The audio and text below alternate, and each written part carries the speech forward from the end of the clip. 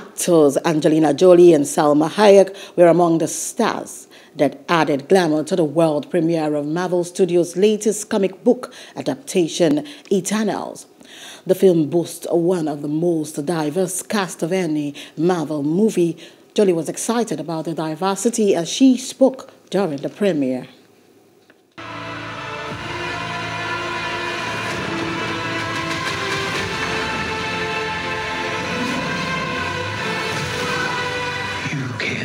Protect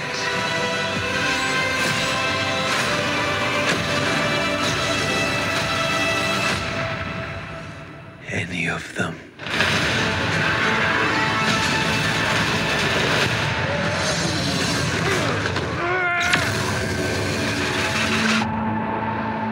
I hope it just starts to normalize what should have always been there in the first place. And I hope we just see more and more of, uh, of, of, this kind of diversity. And I hope that people watch these films in years to come and it's we don't even think about it as being diverse. It just becomes what's normal and what's, what's right and what's an appropriate representation of the world we live in.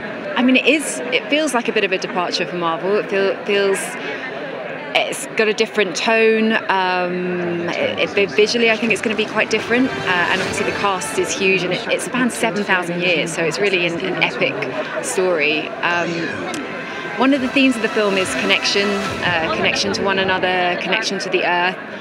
Um, I hope that resonates with people in some way. No, I just hope people enjoy the movie. It's, uh, it's, it's different. It's a really kind of interesting bunch of characters. Um, so I just hope people enjoy our interpretation of what these characters are.